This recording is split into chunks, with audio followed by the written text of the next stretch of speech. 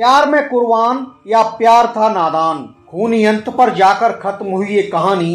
Delhi NCR की चकाचौंध में पली बड़ी एक ऐसी युवती की है जो फेसबुक पर चैट करते करते अजनबी से प्यार कर बैठी थी। असली नाम उसका इमरान था, जो सोशल मीडिया पर ऋषभ तिवारी बनकर दीक्षा मिश्रा की ज़िंदगी में आया था। दोनों एक दूसरे को प्यार करते थे, बगैर शादी लिव इन में रहते थे, मगर एक कमज़ोर घड़ी में सब कुछ ठहर गया। ऋषभ उर्फ़ इमरान दीक्षा का कातिल बन गया। प्यार का खूनी अंत ऐसा हुआ कि अपने बर्थडे सेलिब्रेशन को नैनीताल गई दीक्षा प्रेमी इमरान के हाथों होटल में मारी गई। नमस्कार, आप देख रहे हैं खबरची न्यूज़ और आवासी दुनिया व समाज पर इसके खतरनाक साइड इफ़ेक्ट से जुड़ी एक बड़ी खबर के साथ मैं फिर हाजिर हूँ, अनुरोध भारद्वाज। नोएडा की रियल एस्टेट कंपनी में जॉब करने वाली दीक्षा मिश्रा नैनीताल में बर्थडे पार्टी के बाद 16 अगस्त को होटल के रूप में मृत पाई गई थी। उसकी हत्या की गई थी। कत्ल के बाद उसका प्रेमी इमरान और ऋषभ तिवारी नैनीताल से गायब था। उत्तराखंड पुलिस ने एक एक कड़ी जोड़ते हुए दीक्षा हत्याकांड की तफ्तीश आगे बढ़ाई। जल्द ही दीक्षा का कातिल उसका प्रेमी इमरान पुलिस के शिकंजे में आ गया। पूछताछ में कत्ल, कातिल और कत्ल की वजह सामने आई वह हैरान कर देने वाली है। सोशल साइट पर हुई पहचान, मुलाकात में बदली और जल्दी ही प्यार की शक्ल ले गई।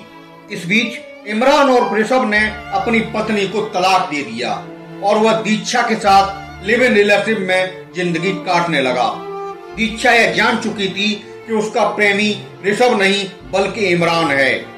उसने अपने शरीर पर इमरान का टैटू भी बनवा रखा था। सब कुछ ठीक चल रहा था। पंद्रह अगस्त को दीक्षा का जन्मदिन था और जश्न मनाने वह इमरान के साथ नैनीताल गई थी। चौदह अगस्त को दोनों नैनीताल में मल्ली ताल के एक होटल में रुके थे।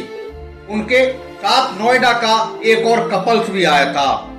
इमरान ने यहाँ भी ऋषभ नाम बताकर पथ पत्नी के रूप में होटल में एंट्री कराई थी। फिर 15 अगस्त की रात जमकर शराब पार्टी हुई। अगले दिन दीक्षा का शव नग्न हालत में होटल के रूम में पड़ा मिला और ऋषभ उर्फ़ इमरान वहाँ से गायब। नैनीताल पुलिस ने इसके बाद हरान इमरान की तलाश में ताबड़तोड़ दबिशें शुरू की। और 17 अगस्त को उसे गाजियाबाद से अरेस्ट कर लिया। पूछताछ में इमरान ने पुलिस को बताया कि दीक्षा मित्रा की हत्या के बाद वह 16 अगस्त को सीधे नैनीताल से नोएडा में उसके फ्लैट पर गया था। वहाँ उसने दीक्षा की बेटी से मोबाइल का पैटर्न लॉक खुलवाकर उसमें से कई फ़ोटो और वीडियो और रिकॉर्डिंग डिलीट की थी कुछ महीनों से दीक्षा से उसका बात बात पर झगड़ा होना शुरू हो गया था। इमरान ने कहा कि दीक्षा शराब पीती थी और पीकर उससे लड़ती थी। कथित रूप से उसके कुछ और भी बॉयफ्रेंड थे। अब वह दीक्षा से पीछा छुड़ाना चाहता था। नैनीताल में एक बॉयफ्रेंड की कॉल को लेकर आपस में विवाद हुआ था और उसने गला दबाकर दीक्षा को मौत की नींद सुला दिया। धंधे में इमरान ने गाजियाबाद में रहने वाले अपने परिवार को भी करोड़ों का चूना लगाया था। कभी उसके पास रेंज रोवर कार और फ्लैट हुआ करता था।